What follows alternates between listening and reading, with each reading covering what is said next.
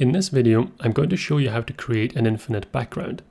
This is something you might use if you are making a side scroller, and I use this myself for my Flappy Bird clone. This background is just one image, which you can see here. So before I get into the code, I'll quickly explain how this works. What you see in here is the game window with the background image blitted onto it. Now, it's not actually taking up the entire width of the screen, so that means that I need to make sure to bring in a second one next to it. So this way, it always looks like the entire screen is filled with the background, even though it's actually two images side by side. And then all we do is slowly move the images over to the left, which gives the impression of the screen scrolling to the right. Now eventually those two images are going to go off the screen, so we need to make sure to always bring in images on the back of that queue to have this uninterrupted background scroll. Eventually we'll get to a point where the first image has gone off the screen entirely.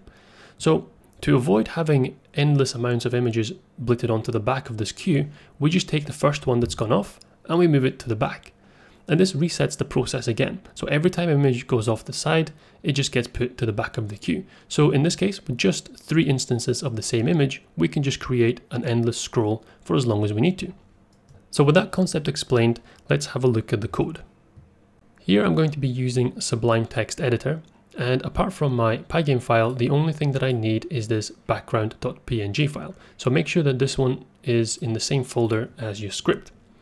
Now we start this in the same way as always. So I'll say import pygame, and then I initialize pygame by saying pygame.init. I'll then create the two variables for my screen. So this will be screen width, which I will set to 1500 pixels, and my screen height, which I will set to 600 pixels. So with those defined, I can now create the game window. So I'll add a little comment to say create game window and for this I will say screen equals and the function for creating this window is this pygame.display.set underscore mode. In here I just need to feed in those two variables that I just defined, screen width and screen height. And for now I'm not going to load any images, I just want to make sure that the bare system works. So I'll just uh, set up my game loop here and we'll say run equals true and while run do whatever's in this loop. Now to make sure I have a way of actually getting out of this loop, I need to add in an event handler. So add a comment to say event handler, and I'll say for event in pygame.event.get. Uh, the only event that I'm looking for at the moment is event.type equals pygame.quit. So basically when you've clicked the, the cross in the top right corner of the window. And when that happens, I just want to set that run variable to false. So that's going to mean that this condition is no longer met and that kicks me out of this while loop. So as soon as that's done, right at the end, I want to say pygame.quit. Okay, so let's run this and just check. There we go. So the pygame window is coming up and it does just say pygame window here. And if I click this, it closes down. Okay, so first of all, let's just rename that so it doesn't say pygame window. Uh, say pygame dot display dot set underscore caption and I'll call this endless scroll. So now if I run this, you'll see at the top is saying endless scroll. Okay, next I will set the framework, so, uh, the frame rate. So I'll do this right at the top, uh, just underneath pygame.init. I'll say clock is equal to pygame.time.clock, and I'll define the frame rate as a variable. So I'll set my frame rate to 60 frames per second. Then the first line within my, uh, my while loop was going to be clock dot tick at the frame rate of FPS. So if you notice that your game is running very, very fast for some reason, if especially if it's a smaller game or demo like this, it may be because you haven't set a frame rate. So your computer is just running it as quickly as it can. So this just is going to keep it a little bit more stable and consistent. Now with that done, I can start loading in the image and setting up the background. So underneath my game window, I'm going to add a section to say load image. And it's going to be bg is equal to pygame.image.load and the name of the file bg.png. So this only works for me because this file is in the same folder as this script here. If it was in a different folder or a subfolder, you need to make sure that you put the full file name and the location within here. And then just at the end, we add .convert. So now let's try blitting that background image onto the screen and just see if it works first of all. So I'll say draw scrolling scrolling background. And it'll be screen which is the name of the game window that I created earlier up here.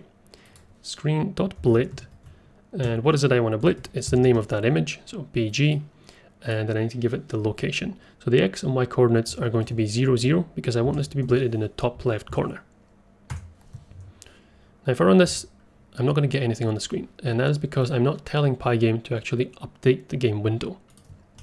So right at the end here after my event handler but still indented within the while loop I'm going to say pygame.display.update and that's going to take all the commands from the while loop and then show them on the screen.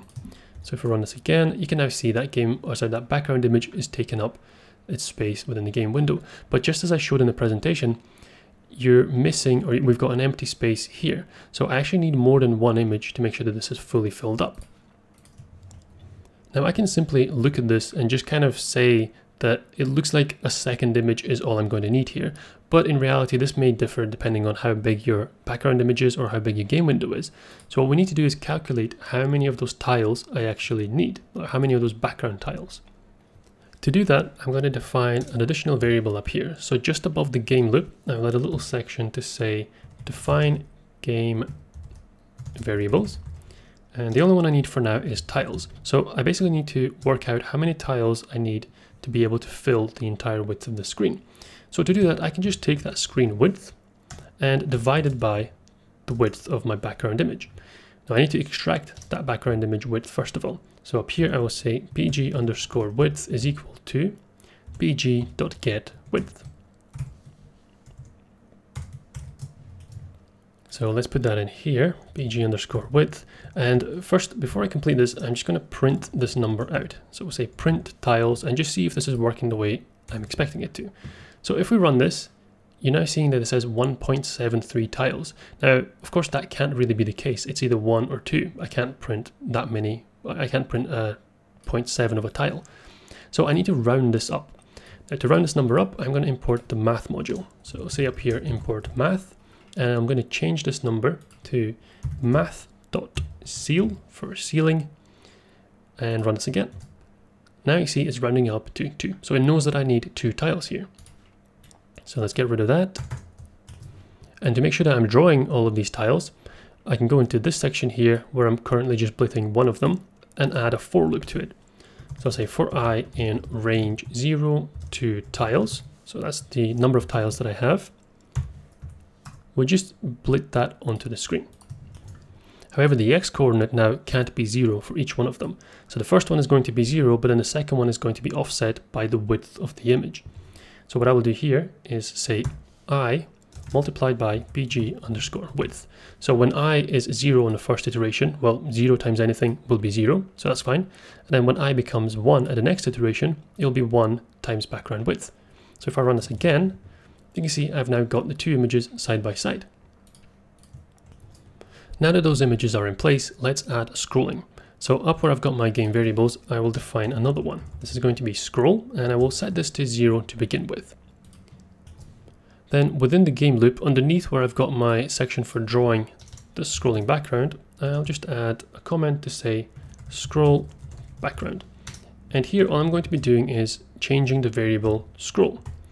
So this is going to be decreasing because remember this is going to be moving the images to the left. So the x coordinate is actually going to be turning into a negative number. So now that I've got this variable here, I need to make sure that it's included within the x coordinate of these images. So we'll just add them on here, plus scroll.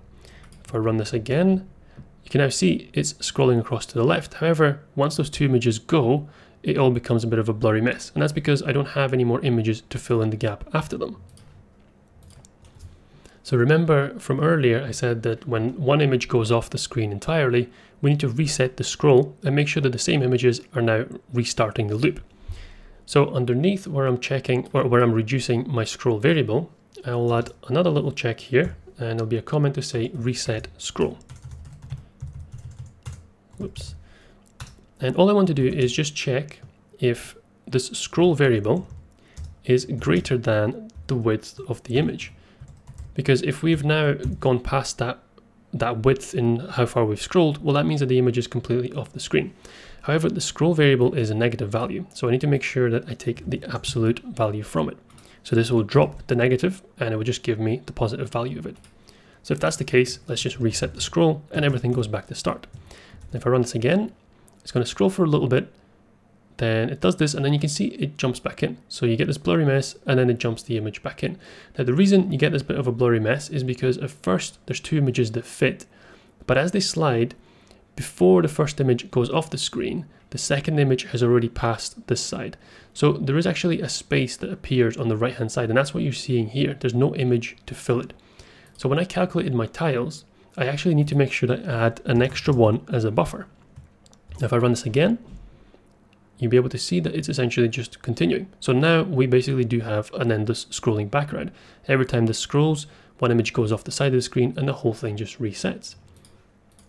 Now when this happens, it's actually hard to see that this is a bunch of individual images, and that's the effect that you want, so that shows that it is working correctly. But just to demonstrate what's really going on in the background there again, I will wrap each of those images in a rectangle. So this isn't something you would be doing if you were actually implementing this in a game, but it just helps visualize what's happening there. So I will create a rectangle from this image first of all. So bg underscore rect is going to be the new rectangle.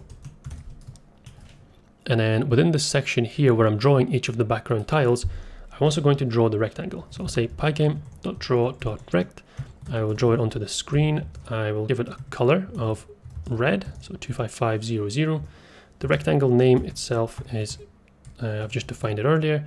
And then I'll give it a border so that it doesn't come up as a solid rectangle. Now this is just going to draw it at position 0, 0. So as this scroll variable here updates, I need to make sure that the rectangle's x coordinates are also updated. So I'll say bg rectangle x is set to basically the same number as above. So i times bg width plus scroll. So it's just the same x value as what's up here. Now if I run this again, you will see that this red outline follows each of the images and it just makes it a little bit clearer to see what's happening. So each of these is an individual tile, but as soon as that one's gone off the screen, everything kind of resets. You don't see it happening, so it just gives you this continuous streaming background. And that's all there is to it. So I hope you found that useful and thank you for watching.